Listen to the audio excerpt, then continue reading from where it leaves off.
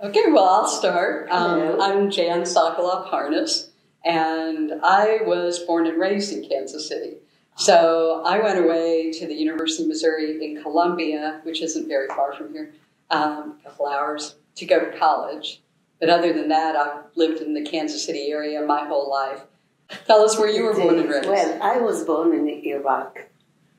Yeah, it's quite different.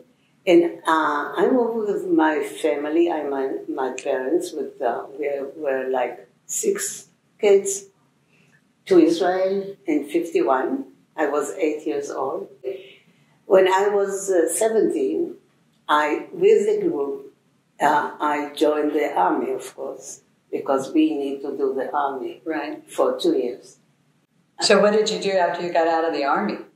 Actually, I, I went to study in the evening and I worked for engineer, for electric engineer.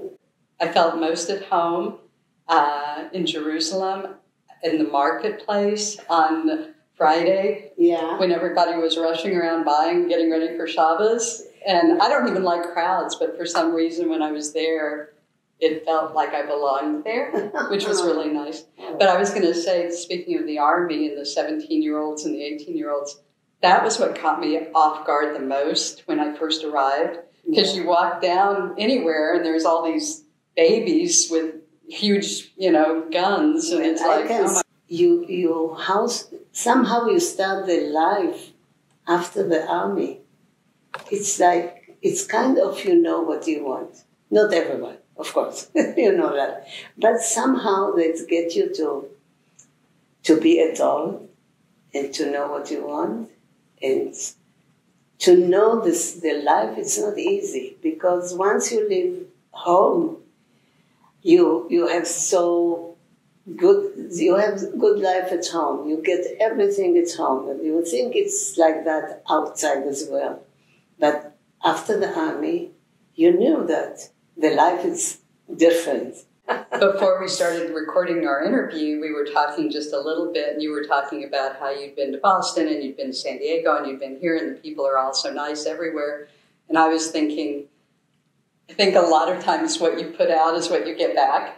So you're being nice to people everywhere. So people are being nice back to you everywhere. Uh, if you get in the morning and you smile the first one that you smile the other one gets such a nice feeling you can give you can give a gift by the, by smiling the way to discover what makes a person tick, and which is um, to discover what makes a person the way they are. yeah Um, talking is the best way. So I think it's fascinating to hear everything you're saying. You were you were about to say that the people here. the people here I'm okay? Mm-hmm. I mean, when I go to grocery, when I go to buy things, they're so nice. I can ask people where is I don't know what I need, okay?